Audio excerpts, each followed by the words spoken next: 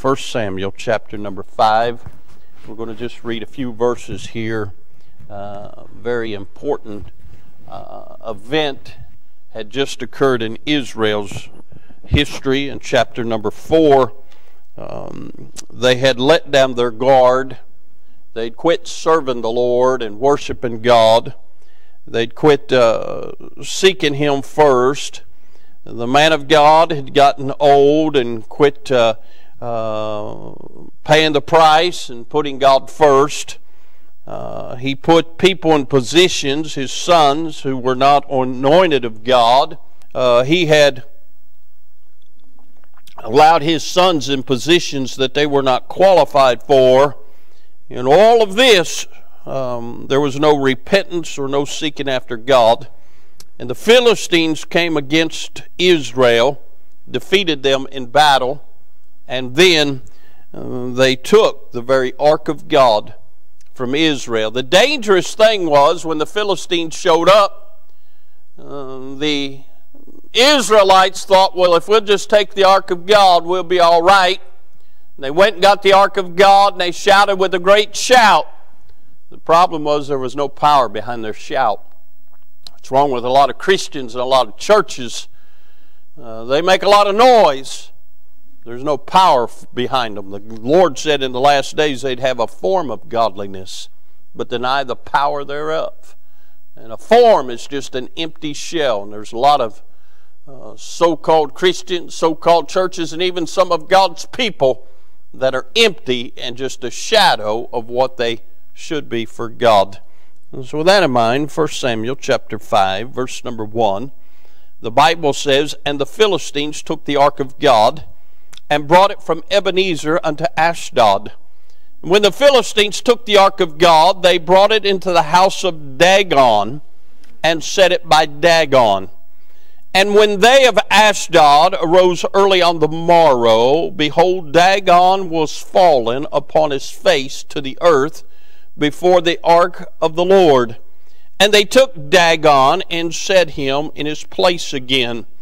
And when they rose early on the morrow morning, behold, Dagon was fallen upon his face to the ground before the ark of the Lord. And the head of Dagon and both the palms of his hands were cut off from the threshold.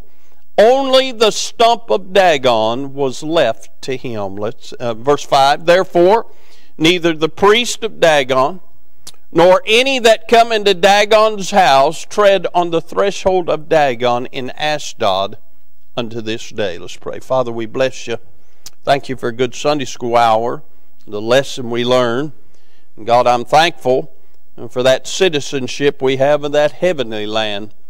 Lord, I'm glad we're in this world, but not of this world. I'm glad we've been bought with a price, the precious blood of the Lord Jesus Christ. And I'm glad for the truths of thy word. And Father, we are thankful for those who are uh, watching via live stream. I know it's difficult sitting in their living rooms or sitting in their cars or uh, however they are taking it in today. Lord, it's so easy to be distracted while you're in church, let alone when you're not in church. So, Father, I pray you would bless them, you would help them. Lord, you'd arrest their hearts and their minds, their attention, that God, they could hear from heaven today, find strength and sustenance for their souls, uh, increase their faith, send revival during these days. Uh, now, Lord, as uh, the Apostle Paul in our Sunday school lesson was bound. Uh, Lord, we are bound today. We are bound, uh, Lord, probably by our own deserving because we took for granted the privileges afforded us when we could come to the church freely. And now, Lord, uh, we don't have those privileges. Uh, we're only allowed to have a handful in the building. And God, uh, what a disgrace uh, and what a tragedy that has befallen your people. And Father, we're seeking for you to rise up and to Lord, bear your mighty arms, and God, for you to uh, once again restore us the privileges that we might truly have a revival in these days, that we might see a move of God, that we might appreciate you, your sanctuary, your truth, and your people uh, like never before. Uh, Father, I pray if anybody's watching and they're unsaved, uh, they get saved by the good grace of God. Uh, God, I'm interested in Christians this morning. And I pray that, Lord, this message would cause us to live up to our namesake, that we would become Christ like. Uh, that, God, we would have the touch of God and the power of God in our lives, uh, insomuch uh, that those that don't uh, would see the difference. Uh, now, Father, bless as only you can. Help us. Uh, bless the reading of the Word of God. Lord, certainly put a watch guard about my lips. Help me not to say anything contrary to the Word or will of God. But God, help me to say everything that you would have me to. Uh, that Jesus would be magnified uh, and glorified, uh, that the devil would be horrified, uh, and that your people would truly be edified. Uh, we'll thank you and praise you for what you do, for it's in the holy and wonderful name of the Lord Jesus uh, that we ask these things. Uh, amen. Amen. I want to draw your attention to several things here in this chapter. I want you to notice, first of all, the injustice. Uh, in verse number one, we find, And the Philistines took the ark of God uh, and brought it from Ebenezer uh, unto Ashdod. Can I say, first of all, uh, it's an injustice uh, because the Philistines had no right to the Ark of God. Uh, the Ark of God uh, was given by command to God's people from God. Uh, uh, he told them how to construct it and what to do with it and how to utilize it. can I say, there's a lot of folks in this day and age poking their nose into the business of the church. it is not their business.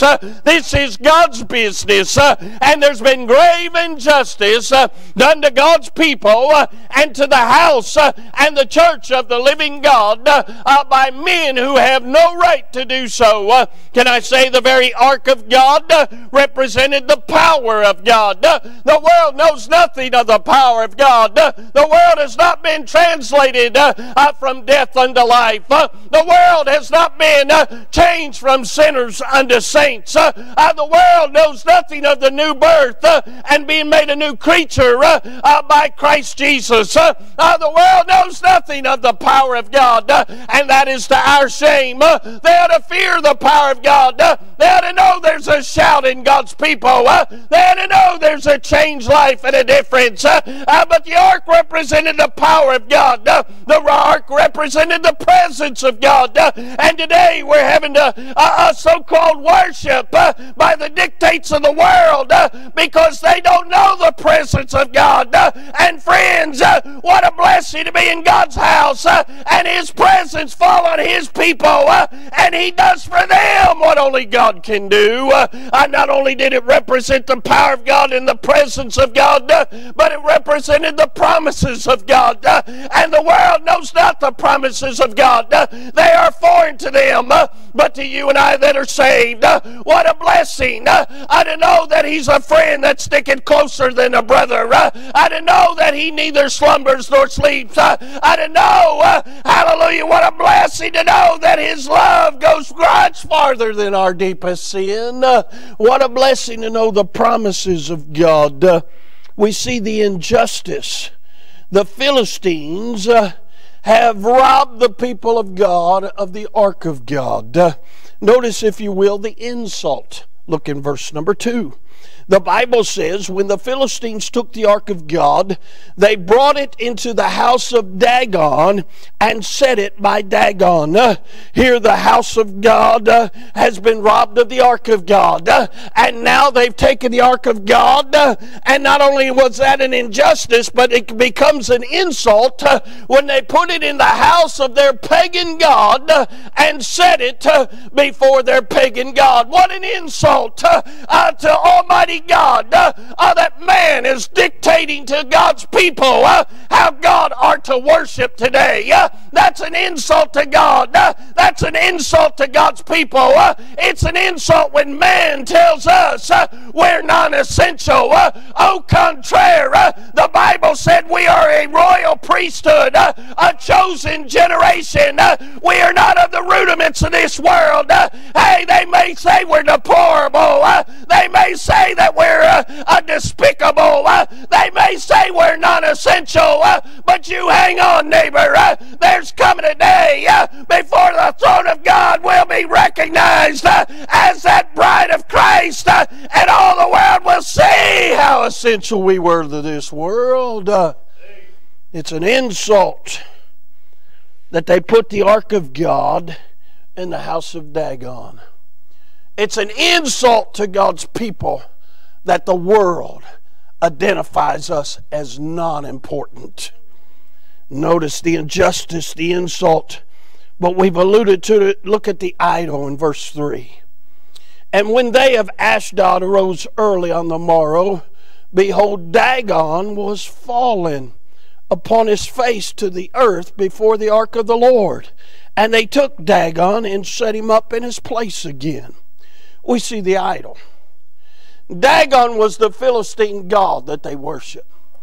He was a god made by hands of man and they propped him up and they paid homage to him and they sacrificed to him uh, and they prayed to him uh, and they promoted him uh, and they pulled him out and took him around everywhere they went. Uh, this is our God. Uh, I'm hallelujah thankful.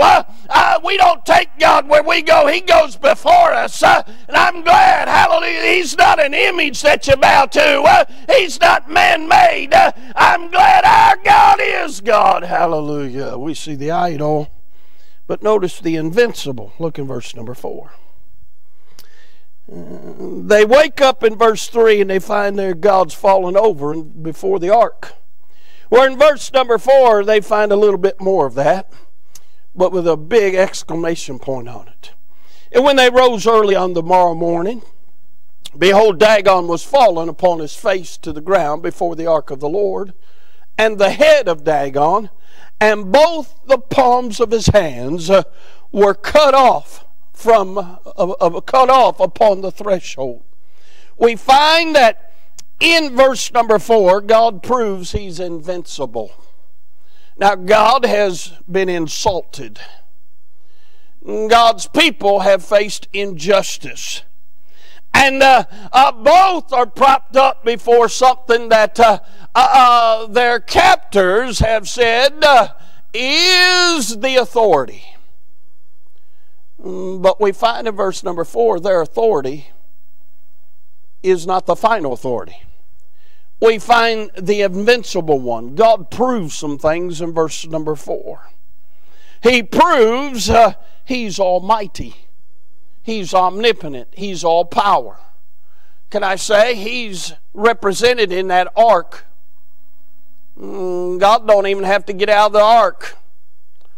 Mm, God just thought it, and there God fell, not once but twice before the ark. Can I say? He proves not only is he all powerful, he's all sufficient. God didn't need anybody to do that for him. Mm. Can I say this? Uh, he proves he's the only authority. They find Dagon the second time with his head broke off and with his hands broke off. Now, that is very significant. God was sending a message to the Philistines. The head represents knowledge and wisdom uh, and authority. That's been cut off. The hands represent power. That's been cut off. God shows uh, that He is the only authority by cutting off the hand and head of the thing that the, the Philistines thought most of. And so, with that in mind, I want to preach on this thought for a little bit. I want to preach on when God, when God cuts off his opposition. When God cuts off his opposition. Now, I don't have time to go throughout the Bible, but let me just say this. There's never been a time, there, there's never been a people, there's never been a tyrant, there's never been a dictator who stood in opposition to God that ever won. Mm-mm. Can I say, first of all, we find in this instance, he cut off paganism. Mm. We find in verse number four that he cut off his head and his hands. He is the God of the Philistines, who at that time was the mightiest of the mightiest uh, on the face of the earth. Uh, when it came to their physical might, uh, when it came to their armies, uh, uh, uh, all other nations feared the Philistines, and they took their God Dagon before them. the Israelites were not skilled in battle nor skilled in war, but God went before them and delivered all the heathen nations before them to them, and we find they did it with the Ark of the Covenant. Uh, so when the Philistines had an opportunity to seize that, uh, they thought they were the greatest. Uh, but can I say, uh, uh, God showed them uh, He didn't need Israel's help, He didn't need an army. God defeated their God instantly overnight, and He defeated and He cut off paganism. What He did is He removed the deity of the Philistines. can I say, today in America, there's a lot of people worshiping a lot of things. Uh, uh, there's Buddha worshippers. Uh, uh hey, uh, there's uh, uh Jehovah's Witness worshippers. Uh, uh, there are Mormon worshippers. there are all the cults here. you got the Christian scientists and the Christian crazies.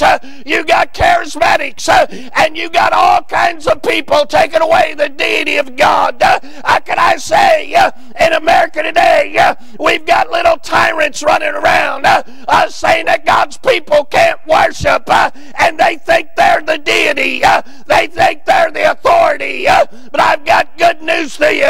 God doesn't share his glory with nobody. And in due season, God's people, uh, they'll uh, uh, reap if they don't faint. and there's coming a day when God's cutting off all the heads of all the pagans that folks worship and all other deities before him.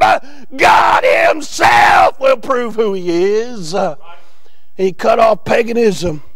He removed all deity from the Pharisees. Uh, uh, uh, can I say this? He removed all doubt from the Pharisees. They knew who God was. Matter of fact, read on. They don't want the ark anymore. They take it back to Israel. Uh, why? It removed all doubt. They knew uh, the power uh, uh behind God. Uh, and can I say this? It removed all dignity from the Pharisees. Uh, look again at verse number 5. it says, Therefore, neither the priest of Dagon nor any that come into Dagon's house tread the threshold of Dagon and Ashdod unto this day. hey, listen, they didn't even go back to that temple anymore because they knew there was no dignity there. God cut off paganism. Can I say this? If you study the Bible, God cut off Pharaoh. Pharaoh ruled the world. He had Israel in bondage for 400 years. Now, I understand we've only been in bondage about 40 days. It seems like 400 years. Can I say? Pharaoh, uh, he thought he was it. God sent Moses down there and told him to let God's people go. And what it did is it hardened Pharaoh's heart. And his heart became harder and harder and harder. When God broke him, he broke him. Uh, he cut him off. There was no more Pharaoh. Uh, uh, say what happened? Uh, can I say God used plagues uh, uh, to cut off Pharaoh? can I say every plague that God sent, it was for the purpose of hardening Pharaoh's heart so there would be no doubt when God broke him that God broke him. but can I say this? every plague that was sent there in Exodus, all ten plagues uh, were sent uh, uh, to attack and defeat one of the gods of Egypt. Uh, Egypt worshiped everything. Uh, they worshiped the creature, not the creator. Uh, and they had gods for everything. and every plague God sent was in direct opposition and defilement against Egypt's gods. and they would pray to their gods, and their gods could not overcome the plague. but the God of glory sent a plague that overcame their gods. Uh, listen, God sent uh, uh, the, uh, the plague uh, that turned the river into blood for seven days and seven nights. Uh, Egypt had a god named Hapi. that was the Nile River god. and God showed that his plague was greater than their river god. Hey, God sent a plague of frogs, and they had a god named Het who was a frog goddess, and the frog goddess couldn't keep the frogs away. Hey, God sent uh, uh, two different plagues against one of their gods a plague of lice uh, and a plague of flies, and that attacked their god Seb.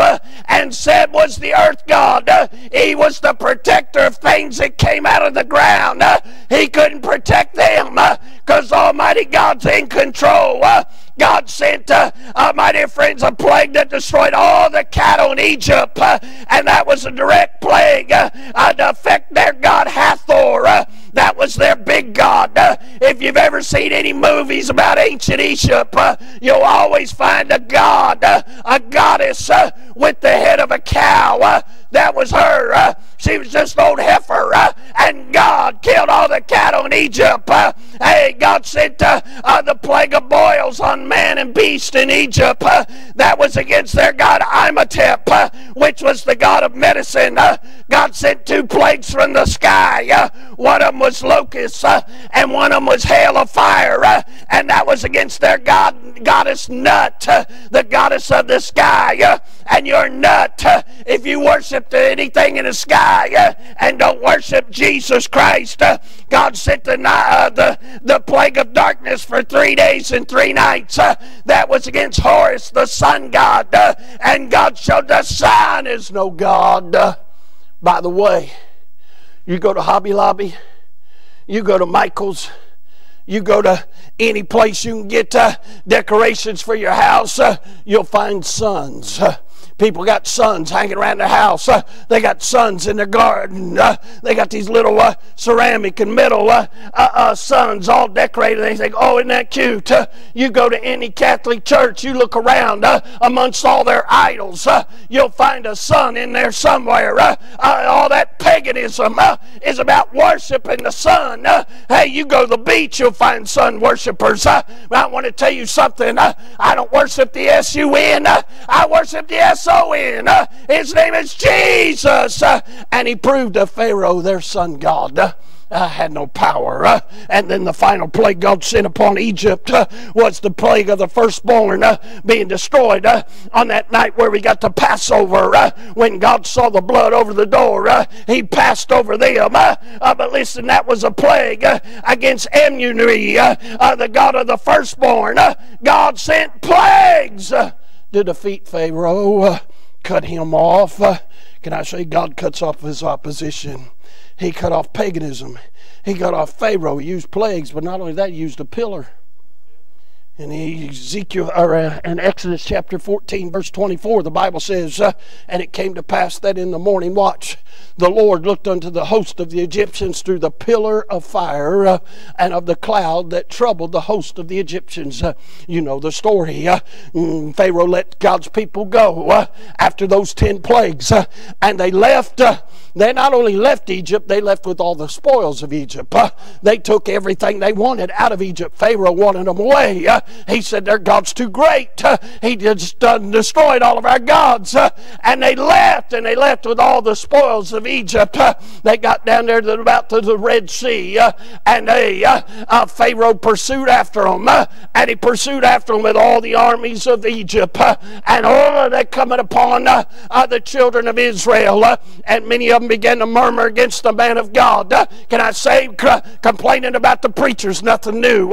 and Moses Moses uh, uh, uh, as he's brought up to the Red Sea. Uh, uh, and the people are complaining said, Would to God we'd have died in Egypt uh, than to come out here and die. Moses, before he was ever filled with the Holy Ghost, the Holy Ghost welled up inside of him. and he said, Stand still and see the salvation of the Lord. and you know, God parted the Red Sea, and God's people walked across on dry ground. but what kept Pharaoh from getting to them? God sent a pillar of fire that stayed them. They couldn't get to God's people because there was a pillar between them and God's people. Can I say, hallelujah, we need some pillars in our day. And if nothing else this is from Aunt Lynn, who's watching her favorite message of all time, our pillars we need in the church. Uh, hallelujah, we need pillar preachers uh, who'll still preach the Word of God, uh, who'll still proclaim uh, uh, the wonderful gospel of Jesus Christ. Uh, we need pillars of prayer, grabbing the horns of the altar, calling on God and getting God on the scene. we need pillars of praise who aren't afraid to stand up in the grocery stores or at the Walmart uh, or at the Home Depot uh, or on the job uh, and certainly in the church house and said, Praise be unto God. I once was lost, but now I'm found. Hey, we need pillars that'll plant the seed of the Word of God and witness and testify to folks about the gospel. We need pillars that'll prop up a brother or sister who's been overtaken in a fault, who's under a struggle, who's worried about something, uh, who's just facing some opposition, uh, somebody to go be a friend uh, and prop them up. Uh, hey, we need pillar parents uh, that'll teach their children not only right or wrong, uh, but teach them about the importance of church, the importance of the gospel, the importance of Jesus in their life. and we need pillars with power that have the touch of God on their lives, that aren't a form of godliness, but they're the ones others look to and say, That's what I want to be like. God defeated Pharaoh with plagues, with a pillar. But can I say, He cut him off, destroyed him for good in His divine providence when He drowned him in that Red Sea. You see, Peter, uh, uh, Pharaoh, and all of his zeal and all of his bitterness and all his anger and all that he had within him, seeking to destroy God's people, God, the very thing he used to deliver God's people is the thing he used to destroy Pharaoh and his entire army. God cut off Pharaoh. Can I say? A lot of people are against the church. A lot of people are using this occasion right now to hinder churches. It, it, boggles my mind that they're letting criminals out of jail, but they're wanting to arrest God's people and put them in jail for doing what we are supposed to do and what we have a constitutional right to do worship God. And can I say, it's not only mm, they're abusing their authority against the church and God's people. I'm seeing reports where they're arresting people in parks and they're arresting people uh, that are out in public facilities where nobody else is, and they're they're trying to uh, uh, flex their muscles and show that they're something when they are nothing. And God knows how to cut them off, friend. Can I say He cut off paganism? He cut off Pharaoh. Can I say God cut off the Pharisee? I don't have time to turn there, but if you look over in 1 Samuel 17, you'll find there's a big, ugly Pharisee. He's about nine foot three inches tall. His name is Goliath. And for 40 days, he cussed God, he cussed the people of God, he cussed everything about God, and he called for him to give him a man. Give me a man! If you defeat me, we'll serve you. If I defeat you, you'll serve us. 40 days. All of Israel cowered down. You know, what amazes me in all of this thing is how many people have cowered down. They're afraid to say anything. Well, as Christians, well, you're not supposed to say anything about anybody. Well, as Jordan brought out Sunday school, Paul would have spoke up and said he was a, a Roman citizen, he'd been beat to death or close to it when we don't stand up and proclaim whose we are and the rights we have and whom we believe in, my dear friends, the church gets stamped out. Well, they, they was they was uh, absolutely uh, in fear of this big old giant.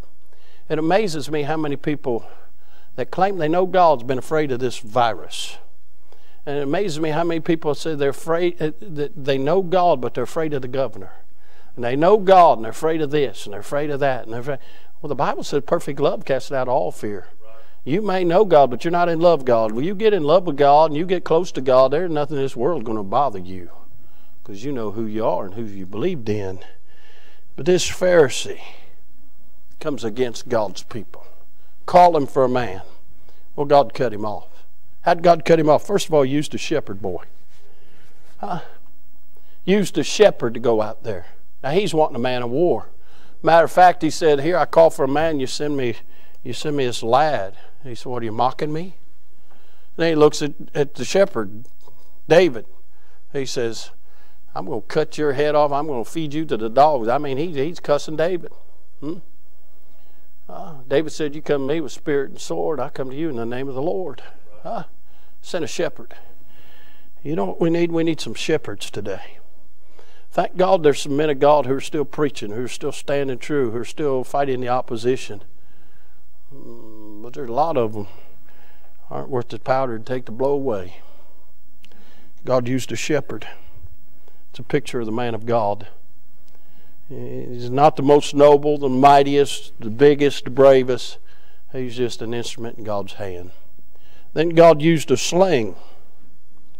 Uh, king of Israel, Saul wanted David to use his armor. He said, I hadn't proved that. He said, Boy, I have proved I'm going to use. Used a sling. Sling's a picture of the Holy Ghost. Hmm? I don't need all the tactics of the world. I just need Him. Then he used a stone. Huh? That's a picture of the rock of ages, our heavenly stone, our Ebenezer, Jesus Christ. If Jesus don't get it done, it ain't going to get done, huh? And then he used the word of God, a sword. See, because after David hit him with the stone, he fell on his face forward. I've used that analogy before. You get hit in the forehead, you're not going to fall forward, you're going to fall backward. Why did he fall forward? Because the Holy Ghost hit him from behind. Fell forward, and then David used Goliath's own sword and cut his head off. And can I say, God cut off the opposition, cut off the Pharisee. He used a sword, the perfect word of God. There is no argument for the, against the word of God. It's truth. Sometimes the truth hurts. That's why they're trying to shut us down so they don't have to deal with the truth. They wanted to put people in fear. You know what would happen if churches would have been open and people would have been able to come to church? They'd have heard about this great God who could overcome their fears. But they wanted to keep people in fear. They wanted to put people in bondage. They want to put press people down under their thumb. That's why they're not opening. God bless the governor of Georgia. We're opening up everything. Well, I'd like to get a haircut. So would my dog, huh? There's so many things that we've been robbed of because of fear. Hmm? People laid off, people who can't pay their mortgage, people can't put food on their table, and, and people tell them they're non essential. Uh, their mortgage company don't think they're not essential. Mm-mm. God cut off the Pharisee, cut off Pharaoh, cut off paganism, can I say? God cut off the plight of mankind. The Bible says in Psalms 55 4, My heart is sore pained within me, the terrors of death are fallen upon me. The king of terrors is death. It's the reason man wears wristwatch, why we keep time sheets, why everything's on a schedule, for it is appointed unto men once to die, and after this the judgment. The very conscience of man knows he has an appointment he's going to keep. It's called death.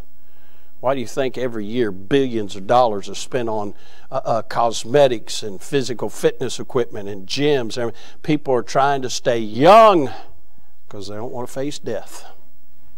It's the king of terrors. But aren't you glad that God cut off death? Oh, he did. You see, through the finished works of Calvary, Jesus came and he destroyed the king of terrors. Huh? He took our death on Calvary, was buried, and rose again according to the scriptures to overcome the very thing that we have to face that would have destroyed us. Can I say he overcame death? Old death, where's thy victory? Hmm? Where's that sting at? The sting of death is gone. Hmm? Christians don't die, they just fall asleep, wake up in, in glory. That great terror of death no longer terrifies Christians that are ready to go home. He defeated, He destroyed our death. He took our damnation, destroyed it. He went to the lower parts of the earth. He overcame death, He overcame hell.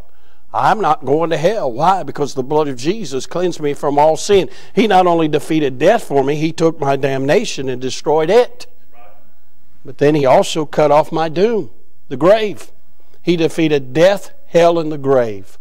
You see, outside Him resurrecting, there would be no hope. We'd be hopeless. We'd have no uh, uh, uh, anything to look forward to. We'd live our lives and die like a dog. But you see, man has a soul. And Jesus Christ destroyed the plight of man, death, hell, and the grave, and He came to give us life and life more abundantly. Oh, they may shut down our services, but you know what they can't shut down? The spout where the glory comes out. They can't shut Him down. They can't take what's inside because that's Him and He's done paid for it. My soul's been sealed by the Holy Ghost of God. You see, the Lord cuts off His opposition. I don't have time to get into Haman. I don't have time to get into uh, all the others that face great opposition and how God defeated what came against them. But let me close with this. One of these days, God's going to cut off the prince of this world. The Bible says in Ephesians 2, verse 2, wherein in times past you walked according to the course of this world, according to the prince of the power of the air, the spirit that now worketh in the children of disobedience. There is a devil, friends. His name is Satan. He is the accuser. He is a destroyer, Apollyon. He seeks to destroy men's souls in hell forever. He wants to bring harm to you, he wants to oppress you. He puts that spirit of disobedience in the minds of people to harm God's people. Because if he can keep us down, if he can keep us quiet, if he can destroy our testimonies, then the world won't hear about how great Jesus is and that Jesus can deliver their never dying soul.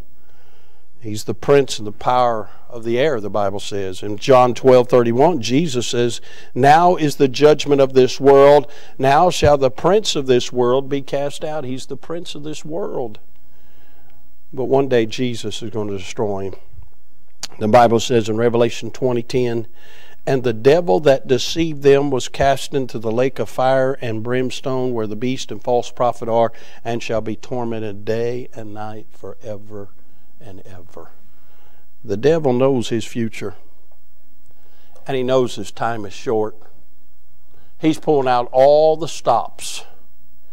Because in his wicked, deceitful mind, he's deceived himself to think that maybe, just maybe, he will win in the end. But we know. And deep down, he knows. His end is the lake of fire, and our end is heavenly bliss with the Lord the Lamb of God. God's always cut off his opposition. Now, friend, this light affliction that we're facing, because we're not being strung out and beaten for our faith. We're not being imprisoned for our faith, oh, they try. We're not being harshly done wrong for our faith. All their people want to turn us in and talk bad about us, and the media will say we're trying to kill people. Here's the bottom line if people get coronavirus, they can't prove where they got it from. They're putting plastic bags over the credit card machines at, at Kroger, but somebody's touched that bag before you. This virus comes through contact. You get your mail every day, somebody touched your mail. Many people touched your mail. It can live for up to three days on any surface. You could have got it at Kroger's. You could have got it at Home Depot. You could have got it at the mail. You could sit at home and never leave your house and still get it by touching things that somebody else has touched. So coming to the house of God is no grave, more grave danger than going to Kroger's or anywhere else. Bottom line is, if you get it, it's because God allowed you to get it. But they want to use all kinds of fear tactics to oppose the Word of God and the things of God. Oh, they'll say they're believers. They'll say that we still have the ability to worship through live stream. This is not worship. I said it the other night. If God wanted to, uh, uh, the, Him to be worshipped through the dictates of the airways, He'd write His word in the sky. Jesus loved the church and gave Himself for it. And those that now have the facts and still seek to bring opposition against God's people and against the Word of God and against the house of God, God help them because they're playing with fire. And it is a fearful thing to fall into the hands of an angry God. And friend, I don't have to defend us. God does a great job of it. Now, I say all that to say this. There are a lot of things opposing you today. The very battle, you've heard me preach this for years, the very battle is in your mind. You can be cooped up in your house and there's a battle raging in your mind. That sorry, no good devil put thoughts in your mind. He'll put thoughts on shows you watch that put thoughts in your mind. He'll use any means necessary to destroy your faith. God's going to cut him off someday. And everybody that stands in opposition to what God wants to do today is going to face God in this life or the life to come. And it's not going to be good for them.